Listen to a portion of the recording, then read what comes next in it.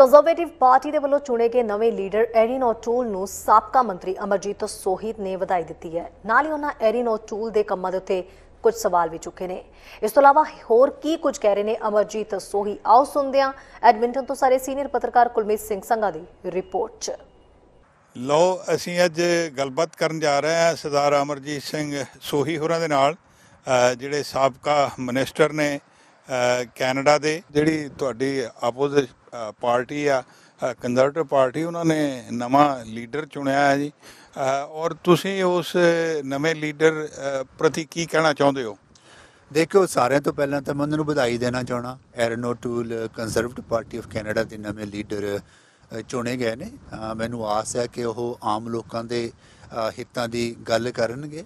ਜਦੋਂ ਉਹ ਪਾ- ਇਸ ਵੇਲੇ ਉਹ ਪਾਰਲੀਮੈਂਟ ਦੇ ਵਿੱਚ ਸੀ- ਹੈਗੇ ਨੇ ਤੇ ਜਦੋਂ ਮੈਂ ਵੀ ਪਾਰਲੀਮੈਂਟ ਦੇ ਵਿੱਚ ਸੀਗਾ, ਉਦੋਂ ਵੀ ਉਹਨਾਂ ਦੀ ਕਾਰਗੁਜ਼ਾਰੀ ਨੂੰ ਦੇਖਣ ਦਾ ਮੈਨੂੰ ਮੌਕਾ ਮਿਲਿਆ। ਠੀਕ ਹੈ ਜਦੋਂ ਉਹ ਗੱਲ ਕਰਦੇ ਆ, ਮਜ਼ਦੂਰਾਂ ਦੀ ਗੱਲ ਕਰਦੇ ਆ, ਪਰ ਜਿਹੜੇ ਉਹਨਾਂ ਦੀਆਂ ਲੈਜਿਸਲੇਸ਼ਨ ਅੱਜ ਤੱਕ ਸਾਹਮਣੇ ਆਈਆਂ ਨੇ, ਉਹ ਲੋਕਾਂ ਦੇ ਹੱਕਾਂ ਦੀ ਗੱਲ ਨਹੀਂ ਕੀਤੀ। ਤੇ ਸਭ ਤੋਂ ਮੁੱਦਭਾਗੀ ਗੱਲ ਜੋ ਮੈਂ ਸਮਝਦਾ ਕਿ ਆਪਣੀ ਕਮਿਊਨਿਟੀ ਦੇ ਪੁਆਇੰਟ ਆਫ View ਤੋਂ ਜੋ ਉਹਨਾਂ ਨੂੰ ਨਹੀਂ ਸੀ ਕਰਨੀ ਚਾਹੀਦੀ ਸੀ ਉਹਨਾਂ ਨੇ ਕੀਤੀ ਸੀਗੀ। ਤੁਹਾਨੂੰ ਚੇਤਾ ਹੋਣਾ ਕਿ ਜਦੋਂ ਪ੍ਰਾਈਮ ਮਿਨਿਸਟਰ ਇੰਡੀਆ ਦੇ ਵਿੱਚ ਗਏ ਸੀਗੇ ਪ੍ਰਾਈਮ ਮਿਨਿਸਟਰ ਜਸਟਨ ਟਰੂਡੋ ਉੱਥੇ ਜੋ ਐਕਸਪੀਰੀਅੰਸ ਹੋਇਆ ਉਹ ਕੋਈ ਬਹੁਤਾ ਪੋਜ਼ਿਟਿਵ ਐਕਸਪੀਰੀਅੰਸ ਨਹੀਂ ਸੀ।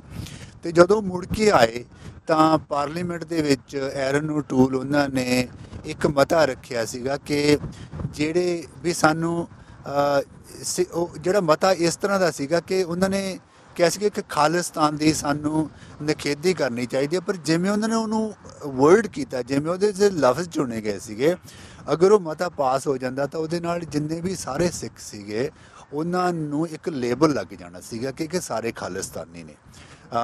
ਜਦੋਂ ਕੋਈ ਗਲਤ ਗੱਲ ਹੈ ਜੋ ਹਾਂ ਉਹਨਾਂ ਨੂੰ ਤੁਸੀਂ ਕਹੋ ਜਿਹੜੇ ਆਮ ਲੋਕੀ ਨੇ ਉਹਨਾਂ ਨੂੰ ਕਿਉਂ ਤੁਸੀਂ ਕਹੋਗੇ? ਪਰ ਉਹਨਾਂ ਨੇ ਉਸ ਵੇਲੇ ਅ, ਥੋੜੇ ਪ੍ਰੈਸ਼ਰ ਦੇ ਵਿੱਚ ਆ ਕੇ ਇਹ ਮਤਾ ਲਿਆਂਦਾ ਕਿ ਸਾਰੇ ਹੀ ਸਿੱਖ ਖਾਲਿਸਤਾਨੀ ਨੇ। ਅ, ਤੇ ਉਹਦਾ ਰਿਐਕਸ਼ਨ ਬੜਾ ਮਾੜਾ ਹੋਇਆ। ਜਿਹੜਾ ਲੋਕਾਂ ਦੇ ਵਿੱਚ ਬੜਾ ਮਾੜਾ ਲੱਗਿਆ ਕਿ ਕਿਉਂ ਇਸ ਤਰ੍ਹਾਂ ਤੁਸੀਂ ਕਰ ਰਹੇ ਹੋ? ਲੱਕਲੀ ਕਿ ਉਹਦੀ ਆਪੋਜੀਸ਼ਨ ਇੰਨੀ ਹੋਈ ਕਿ ਉਹ ਮਤਾ ਪਾਸ ਨਹੀਂ ਹੋਇਆ। ਪਰ ਦੁੱਖ ਵਾਲੀ ਗੱਲ ਹੈ ਕਿ ਉਹਨਾਂ ਨੇ ਮਤਾ ਕਦੇ ਵੀ ਉਹ ਬੁੱਕ ਦੇ ਵਿੱਚੋਂ ਹਟ- ਹਟਾਇਆ ਨਹੀਂ ਸੀਗਾ।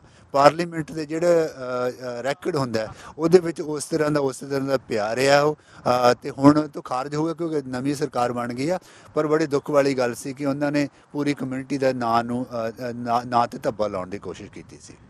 ਤੁਹਾਨੂੰ ਲੱਗਦਾ ਵੀ ਅਗਾਹਾਂ ਨੂੰ ਉਹ ਫੇਰ ਮਤਾ ਜਿਹੜਾ ਲਿਆਉਣ ਦੀ ਕੋਸ਼ਿਸ਼ ਕਰਨਗੇ? ਦੇਖੋ ਉਹਨਾਂ ਨੂੰ ਚਾਹੀਦਾ ਨਹੀਂ ਇਸ ਤਰ੍ਹਾਂ ਦਾ ਲਿਆਉਣਾ ਕਿਉਂਕਿ ਜਦੋਂ ਵੀ ਕੋਈ ਅਸੀਂ ਕਮਿਊਨਿਟੀ ਨੂੰ ਡਿਵਾਈਡ ਕਰਨ ਦੀ ਜਿਹੜੇ ਮਤੇ ਆਉਂਦੇ ਆ ਤਾਂ ਉਹਨਾਂ ਨੂੰ ਜਦੋਂ ਕਮਿਊਨਿਟੀ ਦੇ ਵਿੱਚ ਫੁੱਟ ਪੈਂਦੀ ਹੈ ਖਾਸ ਕਰਕੇ ਜਦੋਂ ਗਲਤ ਇਨਫੋਰਮੇਸ਼ਨ ਫੈਲਾਈ ਜਾਂਦੀ ਆ ਉਦਾਂ ਦੇ ਮਤੇ ਬਿਲਕੁਲ ਪਾਰਲੀਮੈਂਟ ਦੇ ਵਿੱਚ ਪਾਸ ਨਹੀਂ ਹੋਣੇ ਚਾਹੀਦੇ ਤੇ ਮੈਨੂੰ ਆਸ ਹੈ ਕਿ ਉਹ ਇਦਾਂ ਦਾ ਮਤਾ ਮੁੜ ਕੇ ਨਹੀਂ ਲੈ ਕੇ ਆਉਣਗੇ। ਅ, ਸੋਈ ਸਾਹਿਬ ਇੱਕ ਵਿਅਕਤੀਗਤ ਤੌਰ ਤੇ ਇੱਕ ਸੱਜਣ ਮੈਂ ਉਹਨਾਂ ਨੂੰ ਬੜੀ ਚੰਗੀ ਤਰ੍ਹਾਂ ਜਾਣਦਾ ਉਹਨਾਂ ਦਾ ਨਾਂ somehow no fly list ਦੇ ਉੱਤੇ ਆਇਆ ਹੋਇਆ ਔਰ ਉਹ ਕਈ ਸਾਲ ਹੀ ਹੋ ਗਏ, ਬੜਾ ਚੱਕਰ ਪਿਆ। ਉਹਨਾਂ ਨੂੰ ਕੋਈ ਗੱਲ ਨਹੀਂ, ਕੋਈ ਬਾਤ ਨਹੀਂ, ਉਹਨਾਂ ਦੇ ਖਿਲਾਫ ਕੋਈ ਇਨਫੋਰਮੇਸ਼ਨ ਪਰ ਉਹ ਨਾ ਉਹਨਾਂ ਦਾ ਉੱਥੇ ਦਾ ਉੱਥੇ ਹੀ ਰੱਖਿਆ ਹੋਇਆ, ਉਹ ਕਿਸ ਤਰ੍ਹਾਂ ਉਹ ਲਿਸਟ ਚੋਂ ਕਢਾਇਆ ਜਾ ਸਕਦਾ? ਦੇਖੋ, ਉਹਦੇ ਵਿੱਚ ਪਹਿਲੀ ਆਪਣੀ ਸਰਕਾਰ ਨੇ, ਰਾਲਫ ਗੋਡੇਲ, ਜਦੋਂ ਸਾਡੇ ਪਬਲਿਕ ਸੇਫਟੀ ਮਿਨਿਸਟਰ ਸੀ ਉਹਨਾਂ ਨੇ ਕਾਫੀ ਸੁਧਾਰ ਕੀਤੇ ਨੇ ਇਸ ਗੱਲ ਨੂੰ ਧਿਆਨ ਦੇ ਵਿੱਚ ਰੱਖਦੇ ਹੋਏ। ਇੱਕ ਤਾਂ ਕਿ ਜਿਹੜਾ ਡਾਟਾ ਹੈਗਾ ਉਹ ਗਵਰਨਮੈਂਟ ਆਫ ਕੈਨੇਡਾ ਮੈਨੇਜ ਨਹੀਂ ਕਰਦੀ ਉਹ 에ਅਰਲਾਈਨਸ ਮੈਨੇਜ ਕਰਦੀਆਂ ਨੇ। ਉਹਨੂੰ ਆਪਣੀ ਗਵਰਨਮੈਂਟ ਚੇਂਜ ਕਰੇ ਕਿ ਨਹੀਂ ਗਵਰਨਮੈਂਟ ਕੋਲ ਕੰਟਰੋਲ ਹੋਣਾ ਚਾਹੀਦਾ। ਅ, ਤੇ ਦੂਸਰੀ ਇੱਕ ਪ੍ਰੋਸੈਸ ਉਹਨਾਂ ਨੇ ਲਾਗੂ ਕੀਤੀ ਹੈ ਕਿ ਅਗਰ ਤੁਹਾਡਾ ਨਾਂ ਨੋ ਫਲਾਈ ਲਿਸਟ ਦੇ ਉੱਪਰ ਆ ਰਿਹਾ ਹੈ, ਤਾਂ ਤੁਸੀਂ ਉਹ ਪ੍ਰੋਸੈਸ ਨੂੰ ਫੋਲੋ ਕਰਕੇ ਆਪਣਾ ਜਿਹੜਾ ਨਾਂ ਹੈ ਉਹਦੇ ਵਿੱਚੋਂ ਹਟਾ ਸਕਦੇ ਹੋ। ਗਵਰਨਮੈਂਟ ਅਥਾਰਟੀਆਂ ਨੂੰ ਪੂਰੀ ਆਪਣੇ ਵੱਲੋਂ ਵੈਰੀਫਾਈ ਕਰਕੇ ਆਪਣੀ ਇਨਫੋਰਮੇਸ਼ਨ ਦੇ ਕੇ ਜਿਹੜਾ ਤੁਹਾ- ਤੁਹਾਡਾ ਨਾਂ ਹੈ ਉਸ ਨੋ ਫਲਾਈ ਲਿਸਟ ਦੇ ਵਿੱਚੋਂ ਕੱਢਿਆ ਜਾ ਸਕਦਾ ਹੈ।